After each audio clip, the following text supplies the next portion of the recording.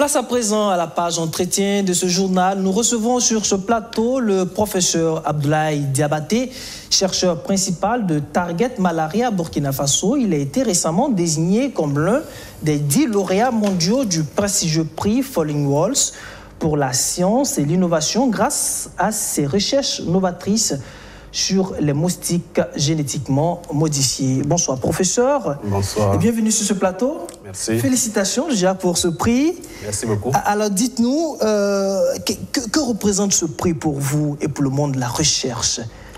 Alors je dois dire d'abord en fait que c'est une satisfaction personnelle pour moi et pour mon équipe toute entière.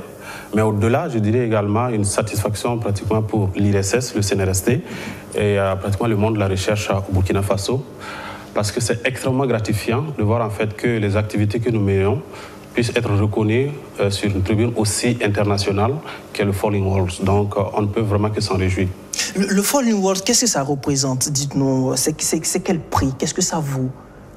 Alors, le Falling Walls, il faut dire en fait que c'est d'abord une fondation internationale en fait, qui est basée à Berlin, et l'objectif de cette fondation, justement, en fait, c'est d'œuvrer pour la science, voir dans la mesure du possible comment est-ce qu'ils peuvent connecter tous les différents pans de la société, de manière à ce que toutes les innovations, effectivement, qui sont entreprises de gauche à droite, puissent être connectés d'une certaine façon et puis avoir un impact extrêmement important au niveau de notre société.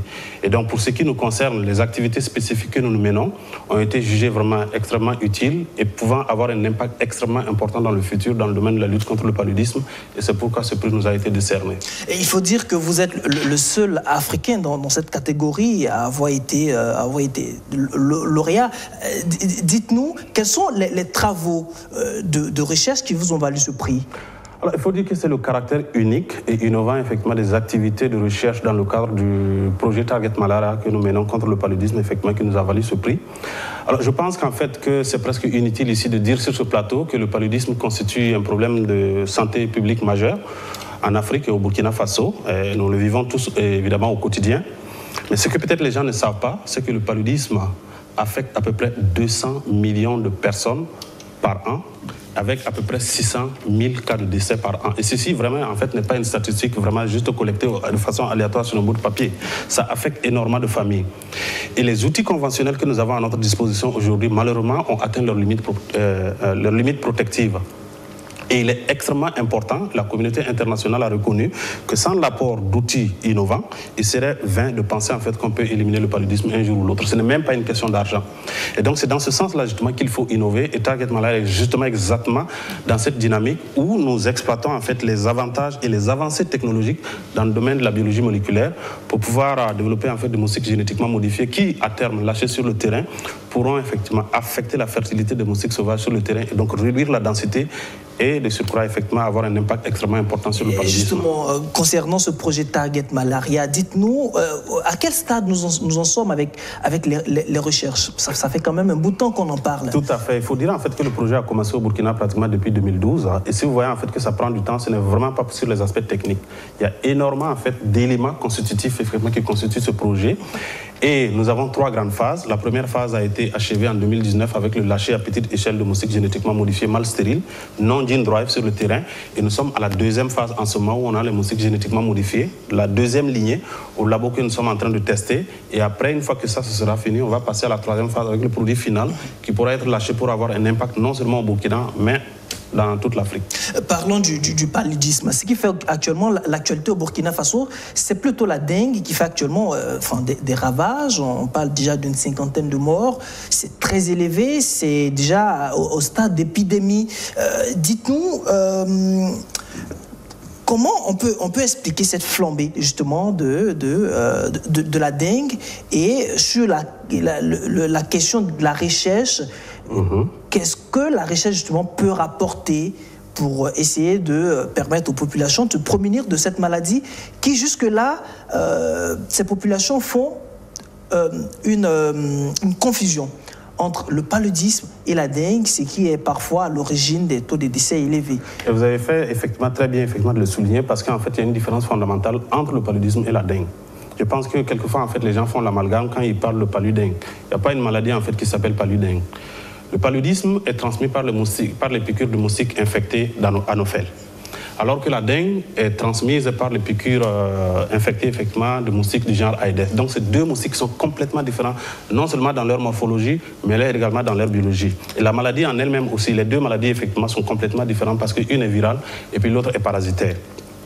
Pourquoi nous avons ces flambées? Il faut dire d'abord, en fait, un, qu'on a euh, le problème de changement climatique, ça c'est déjà le premier élément. Mais le deuxième élément extrêmement important, si vous voyez effectivement ces 20 dernières années, il y a une intensification effectivement du trafic entre le continent africain et les autres continents, tels que l'Asie et puis l'Amérique latine, où cette maladie effectivement sévit depuis un bon bout de temps.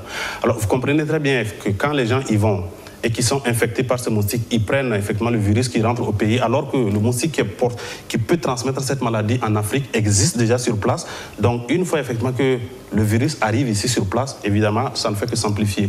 Et malheureusement, c'est ce qu'on constate. Et ce n'est pas seulement au Burkina, je peux vous dire en fait que déjà en 2017, il y avait des flambées épidémiques qu'on avait en Angola pratiquement toute la bande effectivement qui existe en Afrique de l'Est, que ce soit la Tanzanie, Kenya, l'Ouganda, pratiquement tous ces pays-là effectivement ont connu ce problème-là. Alors qu'est-ce que nous pouvons faire actuellement? Il faut dire en fait que D'abord, c'est une question de salubrité. Parce que ce sont des moustiques, en fait, ce sont des moustiques qui piquent plus ou moins dans la soirée. Et donc, les outils conventionnels qu'on a, que ce soit les moustiquaires ou la pulvération intradomiciliaire, peuvent d'une certaine façon affecter, mais vraiment de très très moindre effet. Il est extrêmement important, effectivement, d'avoir une très bonne salubrité aux alentours des maisons pour pouvoir détruire les gîtes de ces moustiques.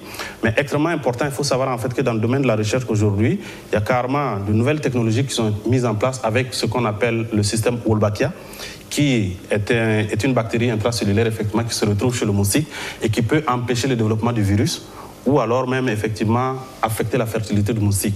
Et donc ces recherches-là sont suffisamment avancées à travers le monde aujourd'hui et les résultats pratiquement sont utilisés dans d'autres contrées aujourd'hui, même comme des outils de lead. Et très prochainement, certainement, on va avoir ici aussi au Burkina Faso ici pour nous aider effectivement à gérer le problème. Un mot sur euh, la recherche au, Burkina Faso. Euh, là, euh, ce qu'on entend, c'est que la recherche est pas suffisamment financé, alors que les défis sont très importants. Aujourd'hui, parlons de difficultés, de défis. Qu'est-ce qu'on peut retenir? Exactement, oui. Comme vous le dites si bien, effectivement, la recherche est un parent pauvre, je dois le dire malheureusement. C'est-à-dire que euh, il n'y a pas suffisamment de financement ni d'infrastructures effectivement en Afrique. Ça, tout le monde le connaît. Mais je pense que l'élément qui est vraiment le plus important ici, c'est que dans la plupart des pays africains, pratiquement, en fait, la recherche est regardée en fait pratiquement comme un luxe, ce qui est loin vraiment d'être le cas.